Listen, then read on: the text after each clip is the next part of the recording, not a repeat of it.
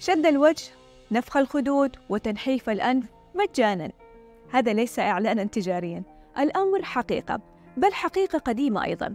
وكان في الحضارات التاريخية مثل اليونانية والهندية والصينية من خلال ما يعرف بيوغا الوجه يوغا الوجه خلينا نوضح أولا. هي ليس لها علاقة باليوغا التقليدية وهنا اسمحوا لي أتوجه للسيدات.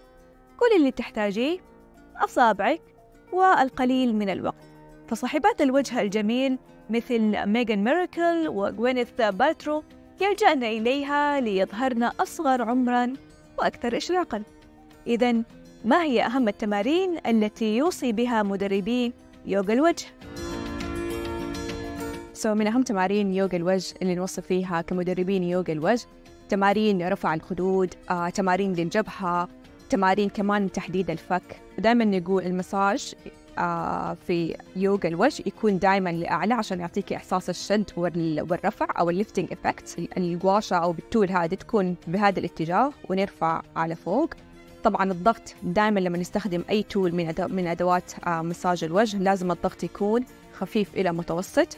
so لازم يكون في كريم أو في زيت للوجه نستخدمه قبل ما نبدأ أو قبل ما نستخدم ال tools المساج للأنف جدا مفيد لكن الشيء اللي دائما يعمله ممكن نعمل مساج بهذه الطريقة على فوق بحركة دائرية على فوق.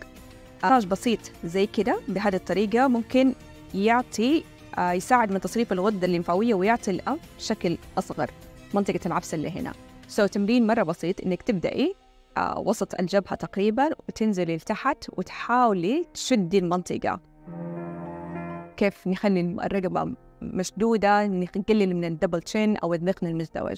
سو so, تمرين بسيط تحطي يدك بهذه الطريقة وترفعي رقبتك على فوق وتحاولي تدقي لسانك في سقف حلقك لمدة خمسة ثواني وترجعي مرة ثانية.